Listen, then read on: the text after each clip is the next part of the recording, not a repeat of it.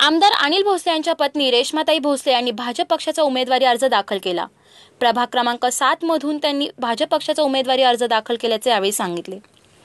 रेश्माताईंनी रेश्मा वहिनींनी गेली पाच वर्ष या पूर्ण भागामध्ये इतक्या प्रचंड प्रमाणात विकास केलेला आहे.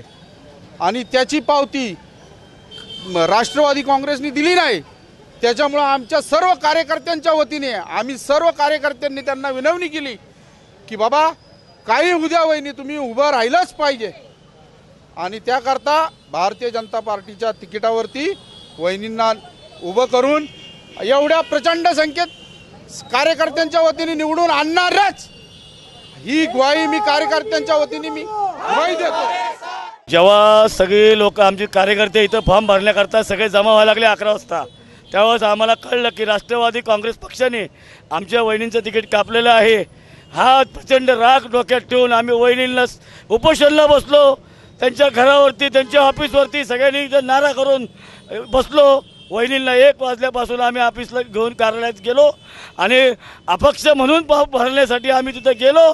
पण तेवढ्यात भाजपचे नेत्यांनी आमच्यावरती ए बी फॉर्म देऊन वहिनींचा मान ठेवला आणि वहिनींना या गोष्टीचा मान देऊन फॉर्म भरला. कार्यकर्ते इतके जल्लोषमध्ये इतके उत्साहामध्ये आहे की अ, कामाची आजच पावती मिळाल्यासारखी वाटते. जरी आम्ही अ, भाजपमध्ये गेलो असू भाजप पक्ष ही खूप मोठा पक्ष आहे.